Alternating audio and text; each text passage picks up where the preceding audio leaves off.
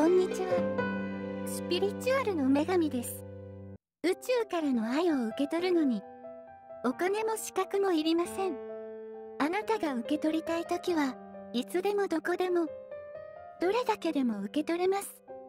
全身の力を抜いてリラックスし、体の細胞の隅々までを宇宙に対して開くだけ。私は無条件の愛を受け取ります。と決めて、あとは何にも考えず、リラックスするだけで、あなたは愛で満たされる。受け取らなきゃとか、受け取ろうとかすらしなくていい。愛はフリーエネルギー。あなたが無条件の愛で、満たされるために、高額なスピリチュアル講義や、パワースポットも必要ない。自分以外の誰かの何かの力なんて、全く必要ないんです。ただ、自分を宇宙に明け渡す。私を愛で満たしてちょうだい。って宇宙にお願いすればいいんです。ただそれだけ。無条件の愛のエネルギー。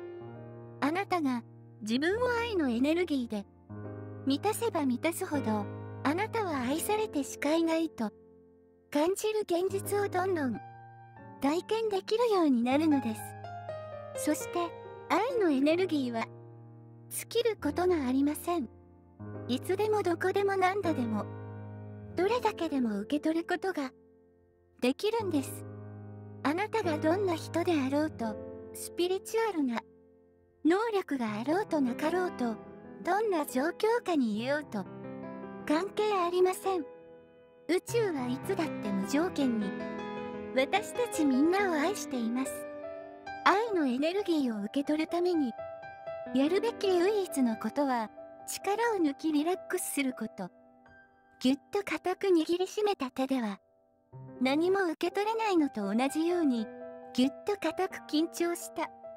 身体の状態ではエネルギーを受け取ることができません。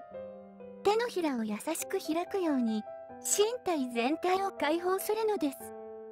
そのために、ストレッチをしたり、リラックスできる音楽を聴いたり、アロマなど香りを焚いてみるなど、自分なりに工夫してみるのは、とってもおすすめです。力を抜けば抜くほど、宇宙からの無条件の愛を、受け解け取ることができ、身体の健康、愛にあふれた、豊かな現実を手に入れることが、できるでしょう。